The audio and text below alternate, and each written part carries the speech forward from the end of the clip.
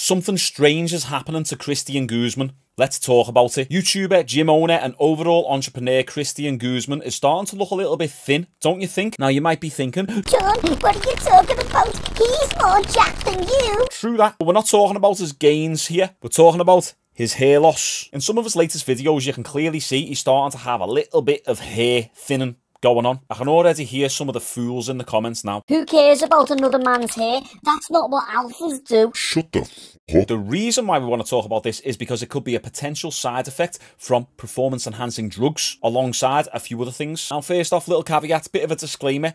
Christian Guzman is a big inspiration of mine. He's a gym owner, as am I, but he's just doing it on a much larger scale. What he done during lockdowns was nothing short of crazy. Building a crazy gym facility when the whole world was shut down. I don't think he gets enough credit for it. I remember watching those videos and then having to sneak into my own gym alongside my staff. And if we would have got found out, we would have got fined 10 grand on the spot that we didn't have at that time. We were taking such a huge gamble on the sly because we had staff members who had families and that was the only way of bringing income and putting food on the table. Yet the law was saying, stay at home, don't be selfish. Go into debt. It's not about your family. It's about the whole country. Which, looking back now, what a bunch of nonsense that was. So I know this is a little bit of a side note, but what Christian Guzman done during that time, he does deserve respect for what he done. And I'm taking some of that inspiration myself into the next phase of my own gym. Anyway, during the process of Christian Guzman building his gym, I remember seeing a few videos where I could see his hair thinning slightly. And some of this could be down to stress. As the common phrase goes,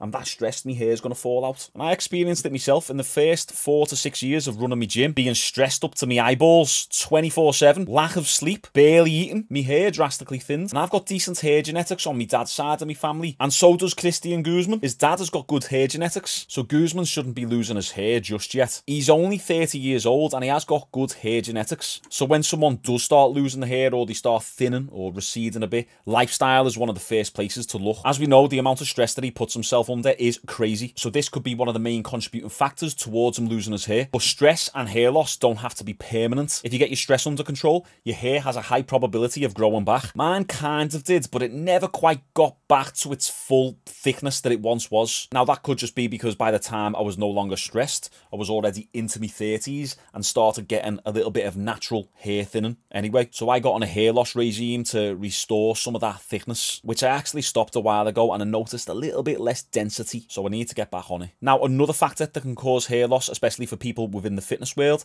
is creatine intake. Now everyone's heard of the supplement creatine. It's the most researched and proven supplement on the market that will increase your strength and increase your muscle size. At the same time, some people experience side effects, and hair loss can be a side effect for some people when they take creatine. But when we're looking at Christian here, that could also be a contributing factor. But the most common reason as to why Guzman is experiencing a little bit of hair loss is going to be due to the steroids. For years, ever since he started on YouTube up until two, three years ago, he's always claimed natty, which I believe he was. Then a couple years ago, he started prepping for the show, and out of nowhere, he just blew up. His physique just started popping like crazy, and he also stopped claiming he was natty. Now, Guzman isn't a fake natty, by the way. He just doesn't talk openly about taking steroids in the same way that some other people do. And that's fair enough because he's not just trying to have a decent physique, he's going for an unusual goal he wants to turn pro as a physique competitor. He wants a pro card. And in order to do that within the bodybuilding world, you need to get on the gear. I actually done a natty or not video on Christian Guzman a few years back when I barely uploaded. You can go and watch that here. He's competing against others who aren't natural. So it makes no sense for him to be natural. It's also a massive red flag that someone is a fake natty when they're competing in non-tested events against other people on steroids. Yet these natural athletes look like they belong on stage and don't look out of place in comparison to everyone else on steroids. No natty can compete against enhanced lifters and hold their own. There might be one maybe two exceptions, but that's it. For the most part, there is a massive disparity and difference in physique development between people who are natural and people who are enhanced. You could take an advanced natural and a beginner juice bomb, and as long as the beginner juice bomb is lean, the advanced natural still might struggle to compete against the beginner enhanced athlete. That's how powerful steroids are, and the way the universe works, if there's a shortcut to getting something, you have to sacrifice something else, i.e., years off your life, losing your hair, acne, balls the size of grapes. But if you can handle all that, yeah, at least you'll have an extra 10 pounds of muscle on you. So we know that Guzzy is on the gear, and since he's gotten thicker, his hair's gotten thinner.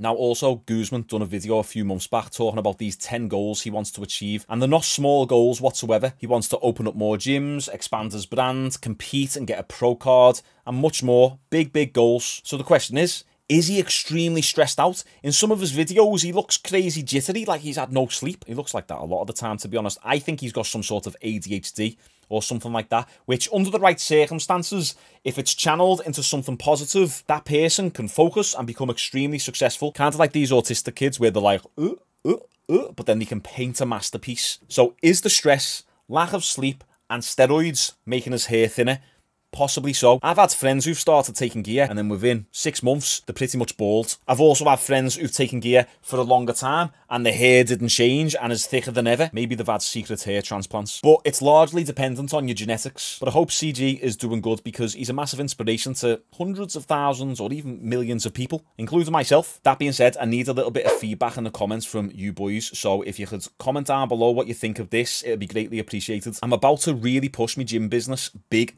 over the next 12 months. If I was to document the process, the growth of the gym, how I'm getting clients in, the difficulties that we're having, going through the decision making process, developments that we're getting done to the gym. Is this something that you would like to see? So it'd be behind the scenes look of how I run and grow my business. Obviously, it's within the fitness world, but there would also be a lot of business advice that would be able to cross over into different industries. Comment below if that's something you're interested in seeing. And then also, should I upload it to this channel or create a new channel dedicated to business, money, personal growth, unfiltered thoughts, and business and life lessons? I've been thinking about creating a separate separate channel for that. So this would be the reaction channel, and then the other channel would be more about the money, finances, personal development, personal growth type stuff. Let me know in the comments below. Would highly appreciate it. Okay, boys, like this video, subscribe if you're new to the channel, and as always, I'll see you tomorrow